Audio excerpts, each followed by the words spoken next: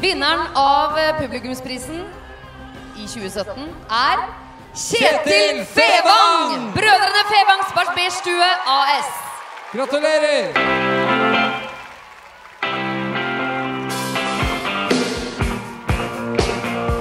Da vil jeg bare si jeg, eh, Som en av brødrene i Brødrene Fevangs barberstue så vil jeg utnytte muligheten som jeg har i Oslo Spektrum. For sist gang jeg var her inne, så var det Michael Bublé som sto her oppe.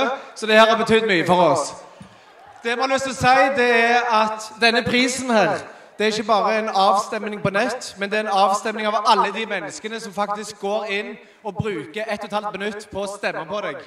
Og jeg vil gi en veldig veldig stor takk til alle de som har stemt oss fram med disse bildene. Jeg er veldig veldig fornøyd. Og Jens Østrem har jeg brukt som eh, fotograf de tre siste årene. Og vi har vunnet publikumsprisen på tre år på rad. Og det er helt utrolig. Og jeg har fått tilbakemeldingen før at brødrene Fevangs de bruker altfor lang taletid når de ikke skal gjøre det, men det gjør jeg igjen. Eh, jeg har lyst til å si at eh, det siste halvannet året så har brødrene Fevangs barberstue jobba med å utvikle en egen herreserie. Det kommer til å komme ut i 2017. Gå inn på tkomat.no. En stor, stor takk til alle dere som har stemt.